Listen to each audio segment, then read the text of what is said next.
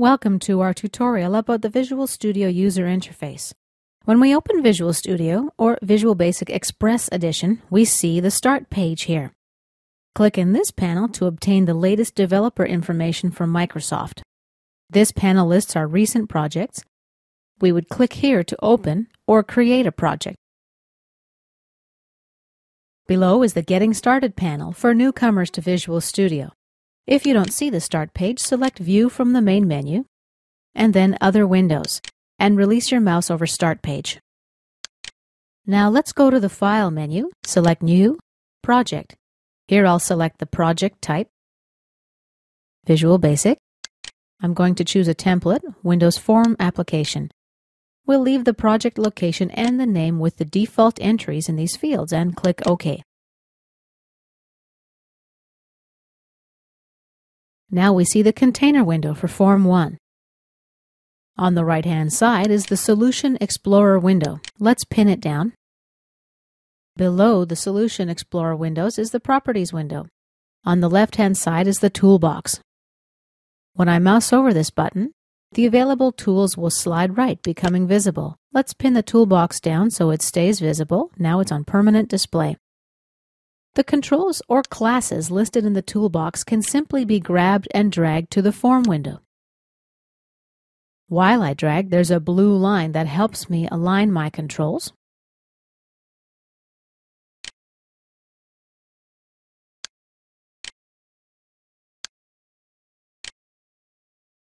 If you don't see the toolbox, select View and Toolbox. The same goes for the Solution and Properties windows. I can grab and undock the toolbox. When I undock it, a number of position icons appear. If I mouse over these icons, I see in blue a preview of where the box will be docked.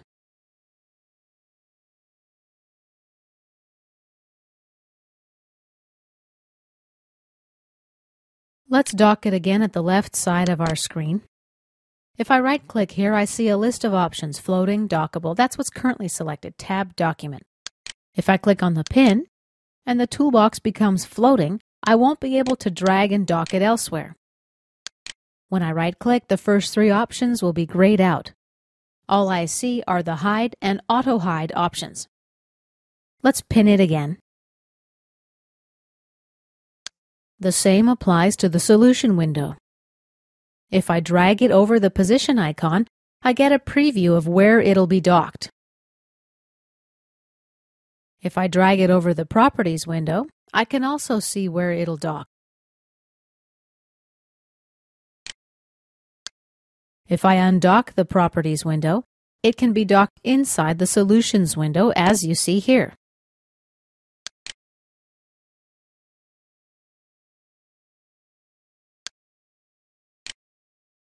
When I double-click, the windows dock automatically. Now, as you can see,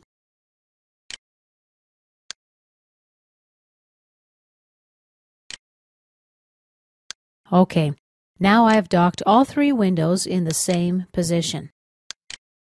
You see the tabs here. Once again, we can simply close them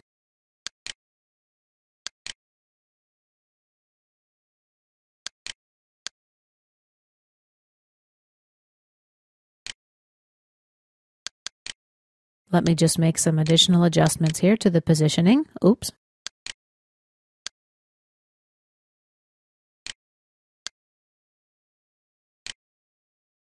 All right, let's resize it back. On the property window, a number of properties for each control are displayed, along with a brief description of their meanings. We can view these properties by category or alphabetically. We can expand and collapse the property trees. These two buttons let us toggle between properties and events for each control. We can also select we can also select controls from this drop-down menu. If we select more than one control, only the common properties of the selected controls will appear. In my case, that's font, for example.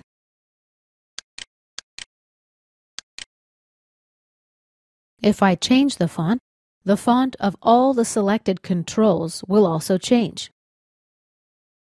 On top of the solution window are a number of buttons, Design View, Code View,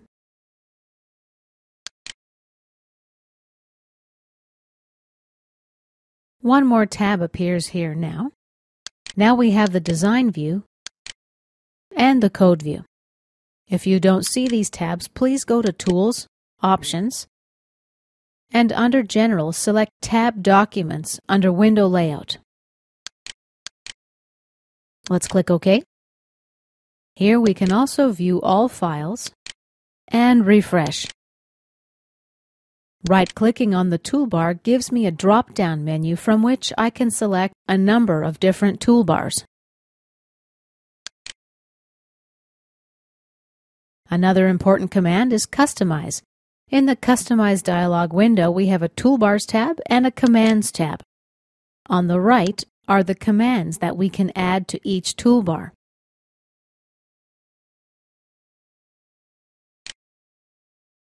We simply grab and drag if you want to add any particular tool to your selected toolbar on the left. Let's close the window for now. A number of other windows are available by selecting them from the View menu, for example, Error List. We can drag and drop this window into an appropriate position. I'm going to close it for now. And this concludes our tutorial on the Visual Studio user interface.